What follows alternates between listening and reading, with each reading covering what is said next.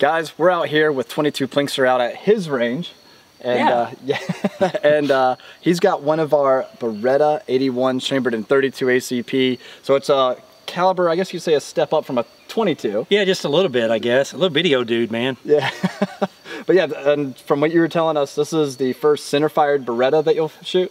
I think it is. I don't even think I've ever. No, whoa, whoa, whoa, whoa. I said that off camera. I did shoot a 92 and a 40 cal like three times, like seven or eight years ago. Yeah. So, but this would be the second one and definitely the first. I think it's the first 32 I've ever fired. I don't think I've ever even shot a 32 before in my life. So Cool. Yeah, man, we'll put some rounds down range and tell us what you think. now this is the first time I've ever shot this gun, so it is not a full review. So, Yeah. all right, here we go. All right, let's let's try something close. All right, looks like it shoots almost point of aim.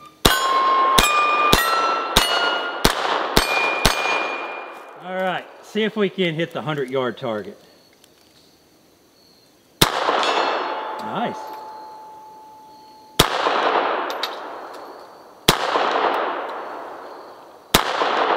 Well, I hit it once. I think I was going a little bit low on the last couple of shots. But man, I like it. Yeah, now, you guys sell these Yeah. on your on your website? Yeah, classicfirearms.com, guys. You can find our Beretta 81s here, 32 ACP again, or 765 Browning. So, thoughts about 32 ACP and the very very mild recoiling. Um, and i've got like sasquatch hands. I've got really large hands.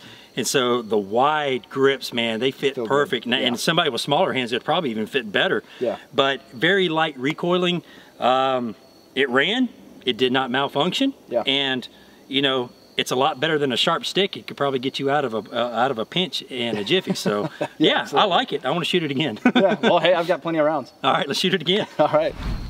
All right, I got another clip loaded up here. I can't even say it with a straight face. All right, got 12 rounds in the magazine.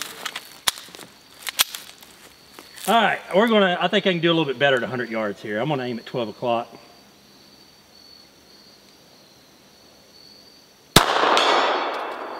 That's a hit.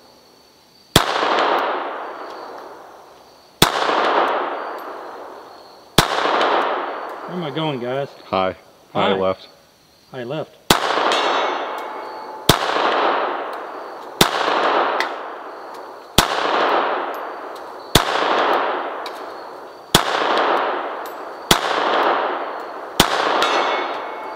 That's strange. It a shoot. I just got to find out exactly where the point of aim of this thing. Let's load up another magazine, try it again. All right, never done this before. I'm gonna try to split a playing card before I slap some more steel. I don't even know exactly where the point of aim is on this thing, so I'm already making excuses now. And I'm about 600 feet away from the playing card. Or 20, either or. I can't see it.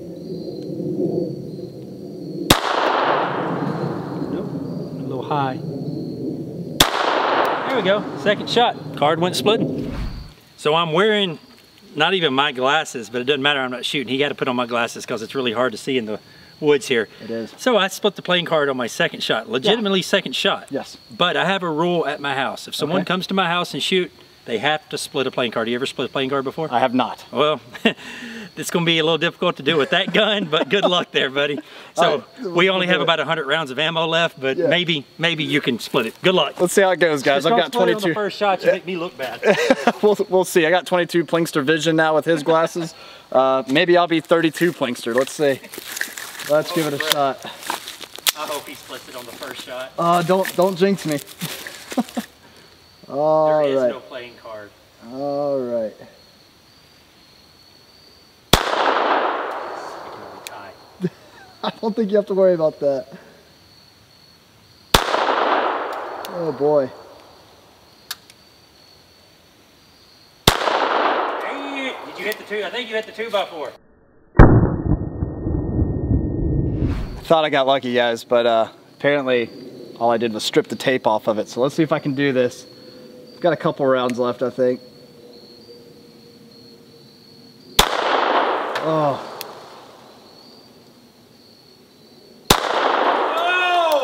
Did you hit the tape again or hit the card? I don't think I hit the card.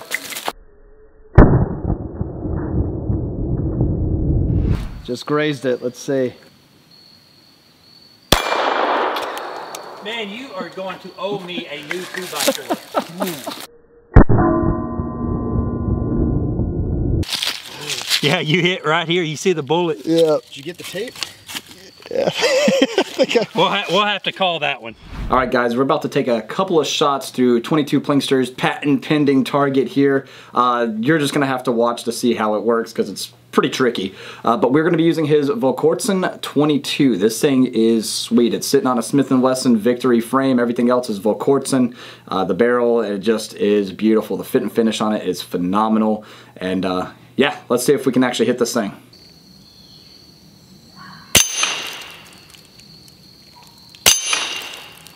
Little high.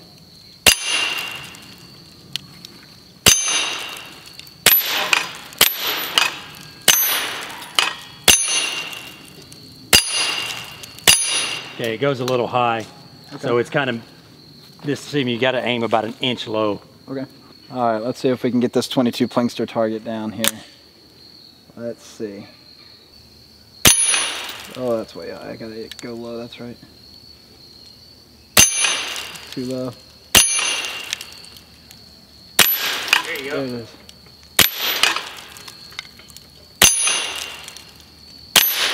There you go.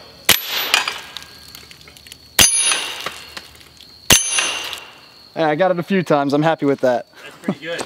So talk about a fun day with 22 Plinkster. Guys, the Beretta 81 is a great little shooter as 22 showed y'all. I need a little bit more practice with it though, so I can split a playing card as easy as 22 did. Uh, but hey, if you've already got one, send us in your footage of trying to split a playing card. I think that would be pretty cool. And if you don't have one, what are you what are you waiting for? These things are sweet, so go pick them up, all right? Guys, check out our current giveaway too. It's a pretty sweet one. You don't want to miss out on that. And also, as always, we appreciate you and your business. God bless, and we'll see you next time at ClassicFirearms.com.